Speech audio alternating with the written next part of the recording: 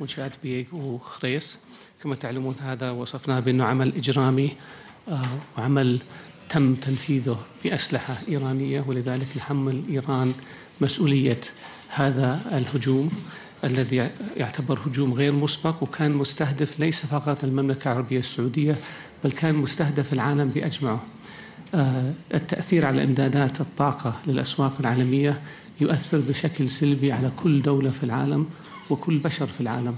ولذلك ما الهجوم هذا يعتبر هجوم على البشرية وعلى العالم بأجمعه. ولذلك أدانت هذا الهجوم أكثر من 80 دولة وبشدة آه، ووصفته بأنه آه، هجوم آه، إرهابي هجوم عدواني هجوم, هجوم غير مبرر. المملكة العربية السعودية تقوم بتحقيقات والتحقيقات الأولية كما ذكرنا سابقا تؤكد أن هذه الأسلحة أسلحة إيرانية. طلبنا من الأمم المتحدة أن ترسل خبراء ليساهموا في هذا التحقيق كما أن هناك دول أخرى تشارك في هذا التحقيق وستبان نتائج التحقيق. السؤال الهدف من وراء التحقيق هو تحديد مصدر الإطلاق. ونحن متأكدين أن الإطلاق لن يأتي لم يأتي من اليمن بل أتى من الشمال والتحقيقات آه، ستثبت ذلك بإذن الله وسنطلع العالم عليها وسنتخذ الإجراءات اللازمة في شأنها. المملكة تم استهدافها بأكثر من 260 صاروخ باليستي إيراني الصنع وأكثر من 150 طائرة مسيرة وهذه هذا أمر غير مقبول. واستطاعت لله الحمد القوات المسلحة السعودية أن تمنع أي صاروخ باليستي من أن يصيب هدفه ودمرت عدد كبير من الطائرات المسيرة والأخوان في القوات المسلحة مستمرين في العمل. المملكة حريصة جدا على أمنها وأمن منشآتها وأمن مواطنيها وأمن المقيمين فيها والمملكة تبذل كل الجهد في ضمان والحفاظ على أمنهم وسلامتهم. نعتقد أن المجتمع على المجتمع الدولي مسؤولية كبيرة في أن آه، يحط آه، حد للتصرفات والسياسات الإيرانية العدوانية التخريبية والتي تهز بأمن واستقرار المنطقة إذا ما كانت العالم وأن تصرفات إيران لا تتماشى مع القوانين أو الأعراف الدولية. إيران يجب عليها أن تحدد إذا ما كانت ثورة أو دولة. إذا كانت دولة فعليها أن تحترم القوانين الدولية وسيادة الدول وعدم التدخل في شؤون الآخرين وعدم دعم الإرهاب وعدم آه، تأسيس ودعم وتوفير الأسلحة بما فيها صواريخ باليستية لميليشيات إرهابية في المنطقة تستخدمها لاستهداف المدنيين.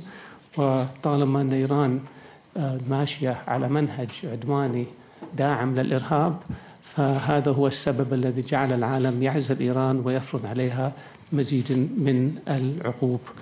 المملكة العربية السعودية اتخذت موقف دفاعي.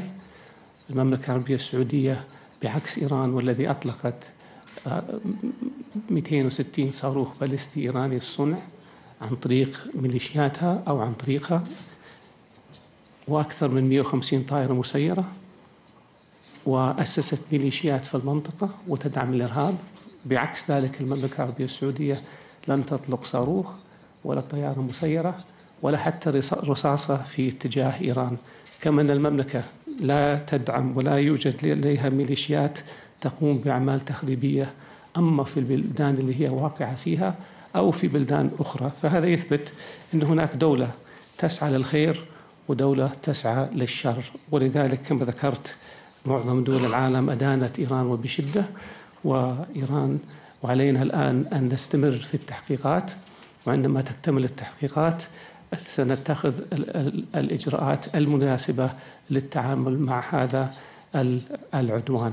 فأنا ما ودي أطول عليكم أنتم سمعتوا آه، عرض آه، سمو وزير الطاقة والمؤتمر الصحفي الذي أجراه مع معالي رئيس إدارة مجلس إدارة أرامكو ومع المدير التنفيذي لشركة أرامكو كما اطلعت على الإجازة الذي قامت به وزارة الدفاع فيما يتعلق بالأمور التقنية. فلذلك أود أن أقف هنا وأتلقى بعض الأسئلة منكم. شكرا. نور تفضلي.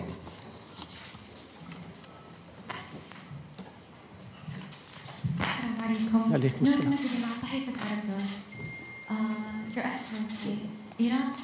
It will not negotiate with the United States until the sanctions are lifted. What is your comment on this? And do you think that the sanctions will prevent Iran from continuing its hostilities? Thank you so much. I think that the, uh, the Iranian position is to obfuscate and to delay and to stall. I think the Iranian position is to try to uh, d- divide the world, and, and it is not succeeding.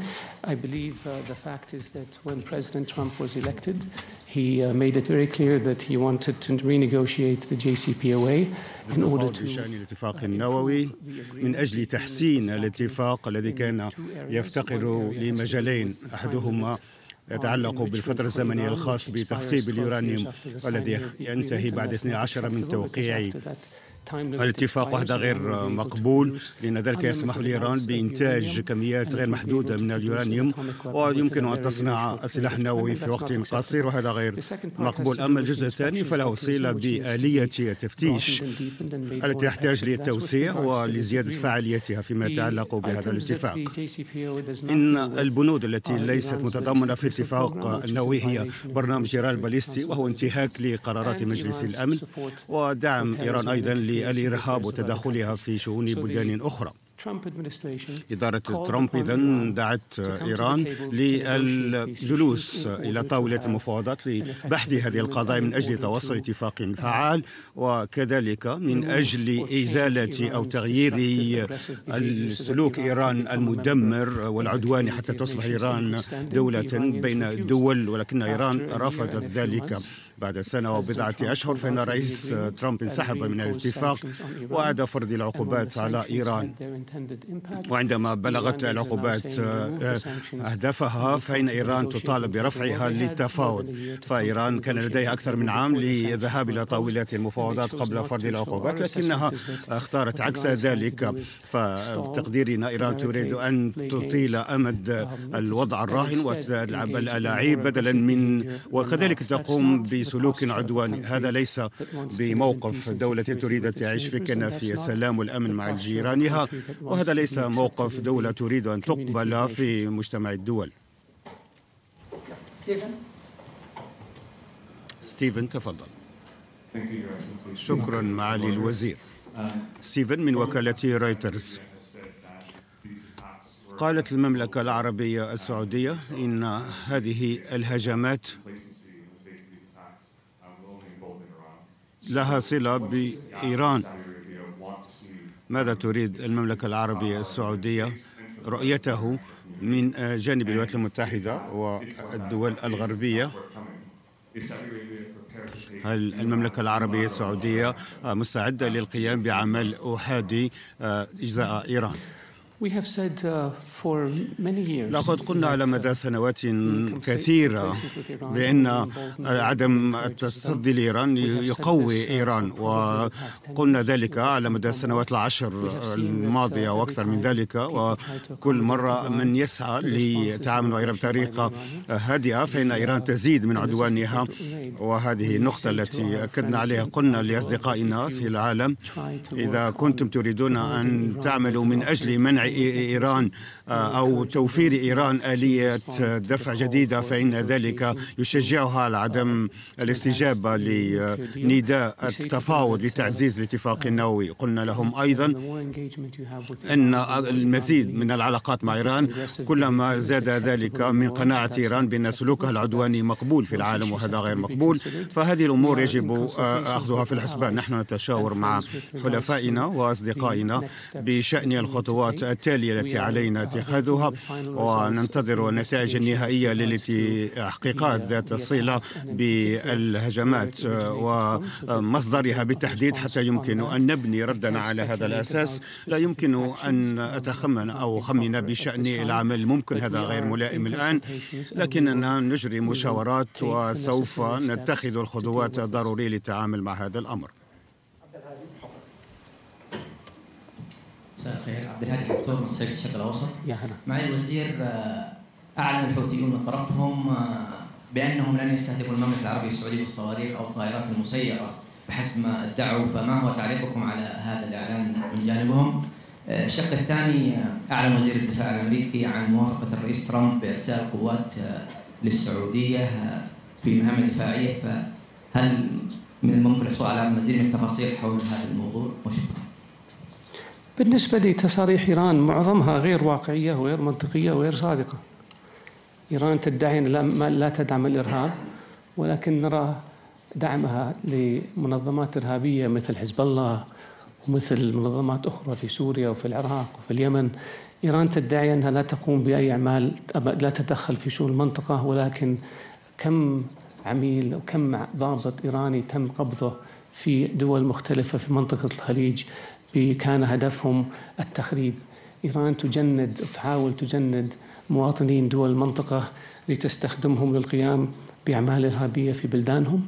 الأسلحة التي تم قبضها في دول عديدة في المنطقة سواء كانت الكويت أو البحرين أو المملكة أو اليمن إيرانية أسلحة إيرانية تم توفيرها من إيران.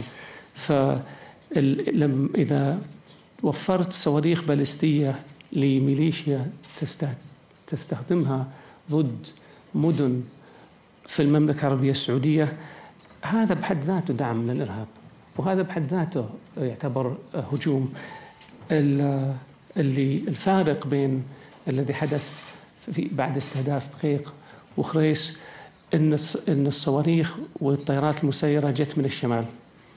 فالان المهم تحديد موقع الإطلاق. واعتقد أنه مثل ما ذكرت إيران كثير ما تدعي أنها تريد السلام ولكن تقوم بأعمال تخريبية وإرهابية، إيران ترفض أنها تدعم الإرهاب لكن العالم كله يدرك ذلك ولذلك وضعت إيران على قائمة الدول الراعية للإرهاب ليس من قبل المملكة العربية السعودية فقط بس من قبل المجتمع الدولي من قبل مجلس الأمن. إيران تعتبر الدولة الأولى الراعية للإرهاب فعندما تتحدث إيران وتقول أنها لا تتدخل في شؤون الدول أو أنها لست مسؤولة عن إطلاق صواريخ إيرانية الصنع. هذا كلام غير مقبول. فيما يتعلق بالقوات الأمريكية الولايات المتحدة لها قوات في المنطقة كما تعلمون. والآن فيه آه، تحرك دولي بقيادة الولايات المتحدة بالتنسيق مع المملكة لحماية الملاحة في الخليج والبحر العرب. انضمت إليه عدة دول إلى الآن. ونتوقع أن هذه الآلية ستساهم بإذن الله في ضمان حرية الملاحة في الخليج العربي لكي لا تتعرض السفن والإمدادات النفطية لأي آه، لأي آه، تعقيدات من قبل إيران ومن أجل أن نحافظ على آه، أمن إمدادات الطاقة للعالم. طيب بسبب ضيق الوقت حناخذ سؤال واحد. إيان إيان لي؟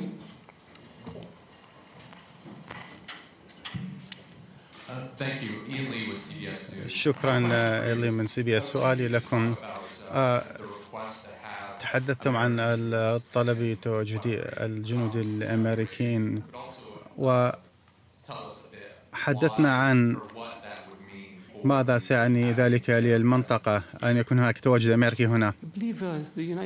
الولايات المتحدة آه، من حلفائنا وكان لدينا علاقات أمنية قوية جدا منذ مطلع الخمسين خمسينات القرن الماضي وواجهنا عدة تحديات خلال هذه السنوات سواء كانت متعلقة بتمدد الاتحاد السوفيتي تجاه الشرق الأوسط أو التطرف في العالم العربي وأهم كل ذلك كان الحرب لتحرير الكويت بعد اجتياح قوات صدام حسين وحيث كان هناك نصف مليون جندي أمريكي في المملكة العربية السعودية وكانت لدينا تعاون عسكري مستمر مع الولايات المتحدة كما حصل مع حلفائنا الخليجيين لضمان أمن المنطقة.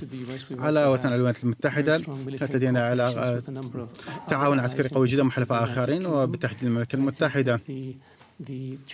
وأعتقد ان التحديات التي نواجهها حاليا تطالب بتعزيز التعاون الأمني بين المملكة العربية السعودية وحلفائها وشركائها من أجل ضمان آه، عدم حصول أي عرقل لتموين الطاقة للعالم لكي لا يتأثر الاقتصاد العالمي سلبا وكل من ذكرته في البداية في العالم متأثر آه، بعرقله تدفق الطاقة لذلك. أنا أعتقد بأن العالم العالم يواجه مسؤولية ضمان أمن وسلامة هذه المنطقة وردع إيران من المشاركة في أي سلوكيات عدائية سؤال آخر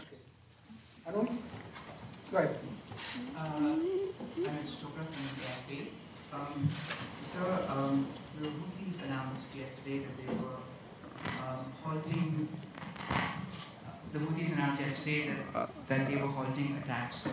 الحوثيون أعلنوا عن شن هجمات ضمن المملكة العربية السعودية. هذا يوم أمس ما ردكم على ذلك؟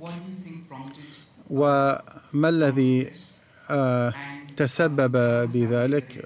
reciprocate? وكيف ستستجيب المملكة؟ نحن نحكم على الأمور والأطراف الآخرين من قبل أعمالهم وتصرفاتهم وليس بكلماتهم وسنرى إذا ما فعلوا ذلك أم لا؟ أما فيما يخص ما الذي دفعهم للقيام بذلك أنا لا أستطيع قراءة أفكارهم ويجب أن تدرس هذه المسألة عن كثب. شكرا